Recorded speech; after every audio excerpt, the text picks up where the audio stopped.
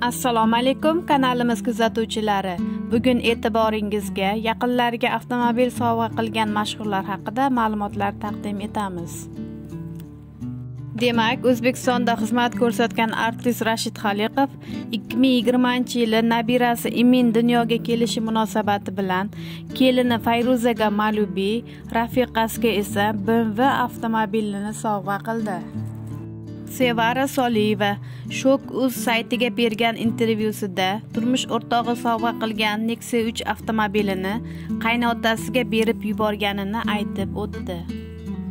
O'zbekiston primadonnasi yulduz usmonovaning 56 yoshga to'lishi munosabati bilan turmush o'rtog'i mansur agaliyev unga bmw x7 avtomobilini sovg'a qilgan. Million jamoa a'zosi alisher botirov 2021 yili otasining tavalludi munosabati bilan unga trekker avtomobilini sovg'a qildi. 2021 yilning dekabrida o'g'il farzandli bo'lgan sharof muqimov ayoliga minnatdorchilik bildirish uchun unga qimmatbaho trekker avtomobilini sovg'a qilgan. 2022 yilning 10 mart kunida taniqli aktyor va teleboshlovchi jahongir xo'jayev uylandi. To'yi kuni jahongir xo'jayev otasiga avtomobil sovg'a qildi.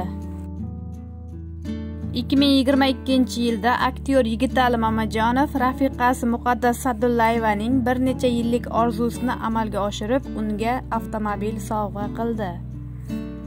Toshkentning sho'x qizi deya e'tirof etiluvchi dilfuza ismoilova almedia youtube kanaliga bergan intervyusida shu kungacha 20 ta avtomobilni hadya qilib yuborganini aytib o'tgan. Intervyudan so'ng kenja qudasining tavallud kuniga ham spark avtomobilini sovg'a qildi. Xonanda dilso'z onasining 56 yoshga to'lishi munosabati bilan navro'z bog'ida kichik marosim o'tkazdi. Onasiga qora rangdagi spark avtomobilini sovg'a qildi. Kanalimiz kuzatib boruvchilari agarda video sizga yoqqan bo'lsa layk bosib kanalga obuna bo'lishni unutmang.